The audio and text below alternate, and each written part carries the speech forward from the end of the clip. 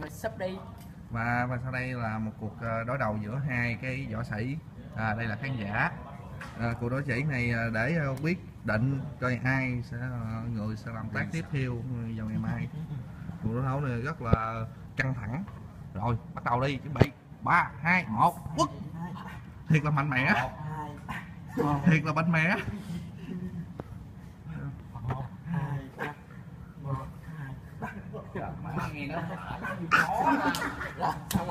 đây đây khoan khoan khoan khoan khoan you win you win. Chúc mừng bạn. Chúc mừng bạn. Chúc mừng bạn.